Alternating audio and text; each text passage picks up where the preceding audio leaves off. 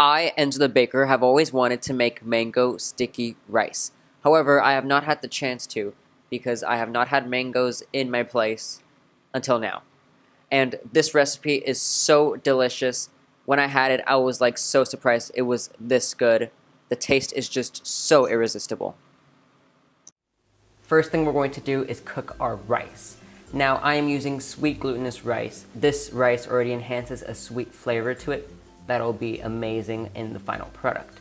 So what we're going to do is cook it in a pot. Traditionally people would do a steamer to cook this, but I don't own one so I'm just going to do it normally by cooking it in water. Also I found out that the results would basically be the same. Alright, and now we're gonna let this simmer. And this may take a little while, so while this is doing its job, we can make the cream. But not just any cream. No, the coconut cream. Alright, now let's make the coconut.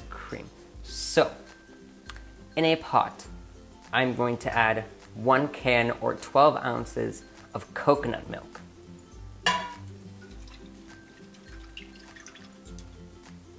Half a cup of granulated sugar.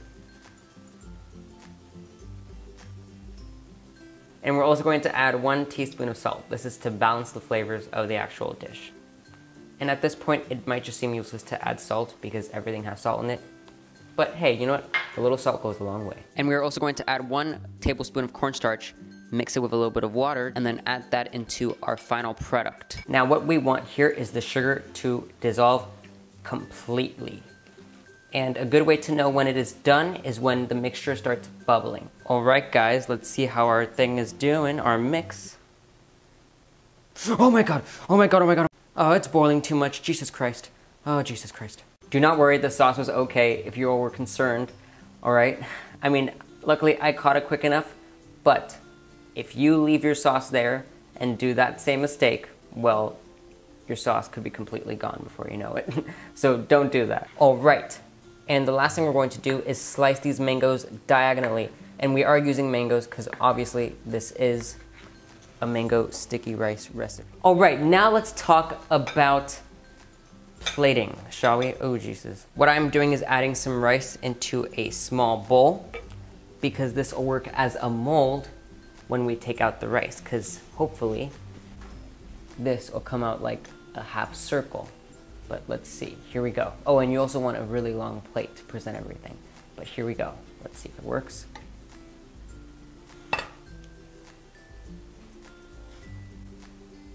Yes! Alright guys, now this is officially plated as you guys saw those amazing takes of me plating the mango and the rice. And now the last thing we have to add is the heavenly sauce. Here we go.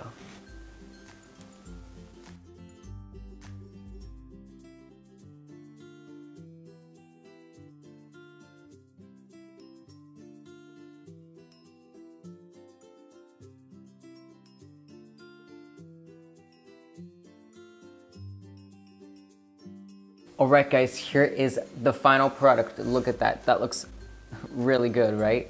I mean, the amazing glaze has completely covered the rice and this mango is just another amazing thing about this dish. So, let's see how this tastes, alright? Here we go.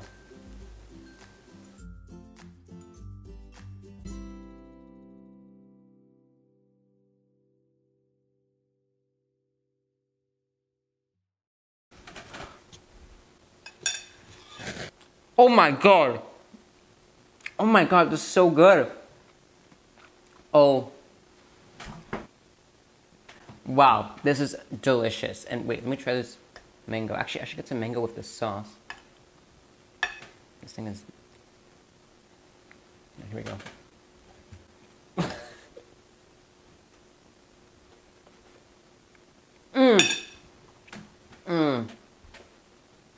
Oh my god, mango sticky rice. One of the best desserts I've ever had in a long time. Oh my god. This is so good. Look.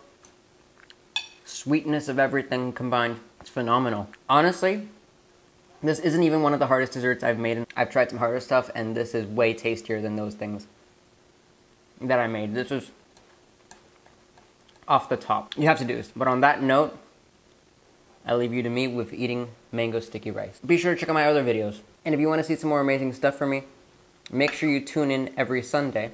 I'll have some amazing videos for you guys. I'll see you guys on the next one. Mm.